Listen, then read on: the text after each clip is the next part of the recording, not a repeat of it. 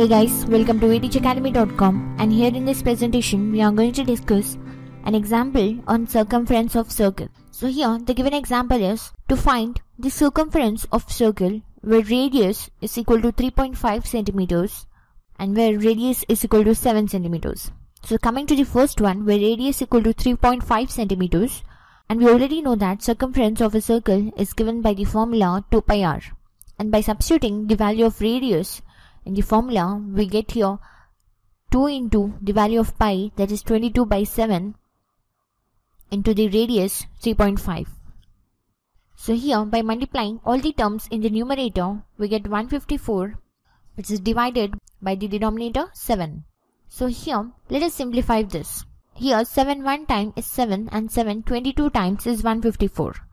So we get circumference of a circle is equal to 22 centimeters. And then coming to the second one where radius equal to 7 centimeters and we already know that circumference by substituting the value of radius in the formula we get c equal to 2 into 22 by 7 into the radius 7. And here let us simplify this. So 7 one time is 7 and 7 one time is 7 again. So by multiplying 2 into 22 we get c equal to 44 centimeters. So now let us proceed and try to solve and another example. So here we have to find the radius of a circle when circumference is given. So now coming to the first one where circumference equal to 176 meters and the formula to find the circumference is 2 pi r.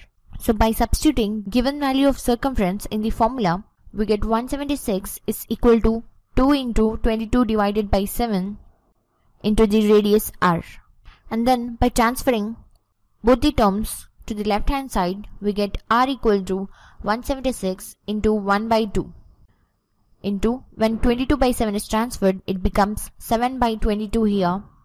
That is nothing but the reciprocal.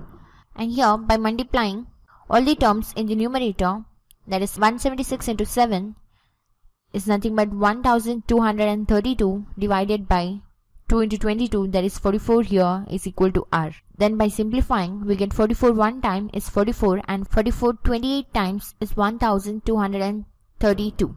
So we get r equal to 28 meters. And then coming to the next one where circumference equal to 66 centimeters and by substituting the given value of circumference in the formula we get 66 is equal to 2 into 22 divided by 7 into the radius r and by transferring all the terms to the left hand side we get here r equal to 66 into reciprocal of 2 that is 1 by 2 here into the reciprocal of 22 by 7 which is 7 by 22 here. And now let us simplify this. So here 2 1 time is 2 and 2 33 times is 66. And then again here 11 2 times is 22 and 11 3 times is 33. So we get r equal to 3 into 7 that is 21 divided by 2. So now let us simplify this and here 2 1 time is 2 and 2 10.5 times is 21. So hence we get the value of radius that is r equal to 10.5 centimeters approximately. At last we can conclude this by saying circumference of a circle is given by the formula 2 pi r. Hope you understood the concept. Do like and subscribe to WeTeachAcademy.com. Thanks for watching. Have a nice day.